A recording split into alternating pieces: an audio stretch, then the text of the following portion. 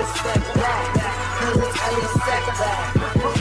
I'm here, I'm here talking to one of the biggest boxing stars on the planet. We're here at the MGM. Big news: Floyd Money Mayweather called out Manny Pacquiao tonight. Did you watch the? Yeah, I did. What, I what was your watched. response when you heard that? I mean, I think it's a good good go. You know, it's what the fans want to see. It's what everybody wants to see. I think Floyd wants it bad. I think he been wanting it. You know, like he said, you just hear, they're just hearing one side of the story. Now it was time for them to uh, say their side, and I hope it goes down. I hope Bob Arum don't you know bitch up. May second, if you could fight on the undercard, who would you want to fight? Uh, I mean, it doesn't matter. Uh, you know, it's it's about the money now. Uh, I had the championship WBC, and uh, you know, it, it's nothing but ups from there.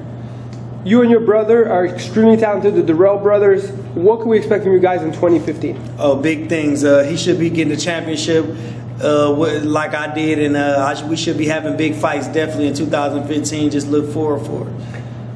A lot of people said Mayweather is not calling out Manny, so now that he did it, did the critics have anything left? Because he kind of said, hey, I'm calling man, let's fight May 2nd. I mean, they're always going to have something to say. Uh, they're, th- that's their job. So, uh, but but I hope it goes down so everybody can shut their mouth and Floyd get this victory. Easy win for him. Why easy? Because it's Floyd. I mean, it's a blueprint for Manny. Like Floyd said, he got knocked out before he got beat by Timothy Bradley.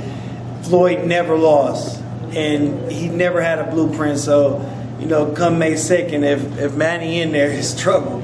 All the fans that want to follow you, what's your uh, Instagram, your Uh, Twitter? Anthony Dur- Anthony underscore Dirrell is my Instagram. My Twitter is Anthony Dirrell. Y'all follow me, man. Stay tuned for my next fight. By the way, you got a lot of fans in England because they got a lot of fighters in your weight class and they all want to fight you. Are you yeah. going to go there to George fight? Groves, man. What's up? You going to take him out? I mean, it is if the money right, you know. You know, he he a good fighter, but if the money right, that's what that's what it is right now. It's about the money. There you have it. Make sure to follow him, Anthony Dirrell, EsNewsReport.com. I'm Elie Seckbach reporting.